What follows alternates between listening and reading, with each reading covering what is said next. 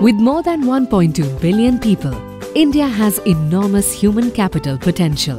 The SHRM India Annual Conference 2014 with the theme of Connect, Inspire, Grow aim to equip HR with everything needed to be more successful in the profession. India's premier HR event had global content and speakers, networking and learning opportunities for HR professionals at every stage in their career. Globally, we've been attending a lot of events. It's one of those where I see a lot of chief human resource officers, very, very well organized, a lot of networking opportunities. I think it's a fantastic event put together. Uh, with the galaxy of speakers we have today, I'm sure the HR fraternity will go back after two days, learning so much more about you know how we can make HR better in our organizations. Over 650 HR pros from more than 10 nations across 450 organizations came together for the same reason to connect, to be inspired, and to grow.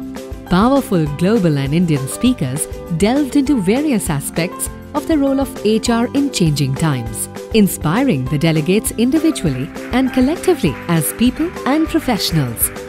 That everywhere we look in life, you're going to find service. Uh, there's external customer service, service to clients, guests, patients, members, visitors. There's internal service all around us from the moment we're born, and we desperately need an enormous amount of service just to survive all the way through the end of our lives. Uh, today's conference uh, got a great kickstart by having a speaker like uh, Ron Kaufman. We think of most things, at least I did, in a certain frame. You thought of it as to the level you want to reach in your job, as to how much money you want to earn. You thought of in terms of its relationship with your son. I was the father, he was the son. He listened, I said, that was the frame of reference. If you remove those frames and you think beyond, you will arrive at that question what if you didn't do this?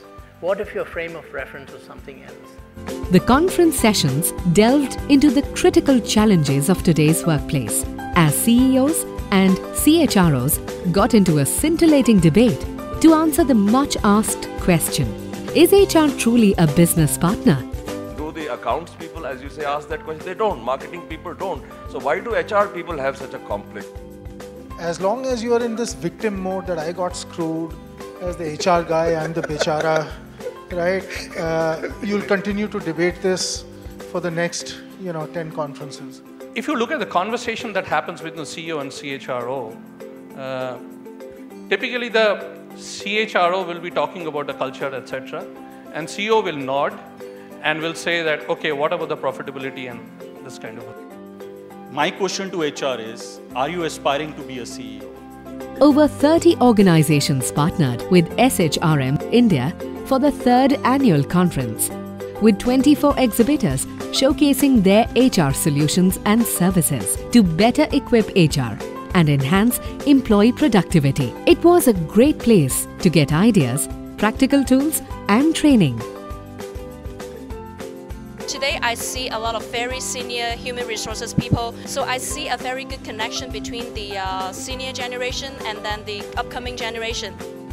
Sir, you're looking away. This is like my father-in-law when I met him for the first time. Very good, excellent, good answer. You deserve a prize. You can come and sit next to the girl. Come on. Yo, I've learned lots of different things. I've realized that uh, HR people are not as serious as they appear to be. The SHRM India Annual Conference hosted the prestigious SHRM HR Awards 2014 that recognized organizations across nine categories of HR excellence for putting their employees' interests first.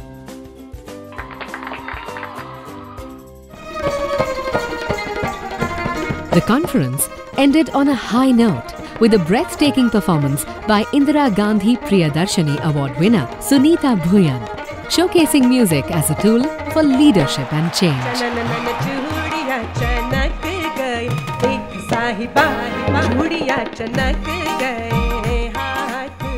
This time, my friends, you have only a couple of people from Pakistan, but uh, I hope next year you will find not few but many.